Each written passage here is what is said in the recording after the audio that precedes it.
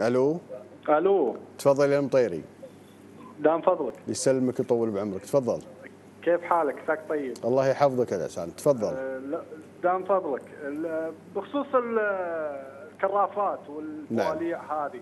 نعم.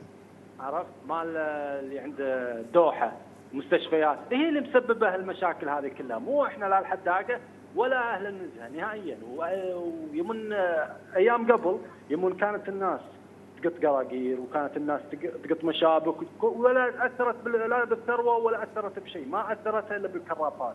لو يوقفون يحطون حد للكرافات وحد لل شو اسمه هذا إيش ترجم للبايبات وهذول اللي لعبوا وتلفوا البيئة اللي حتى لدرجة من كثر ما هي يسموها خيوسة.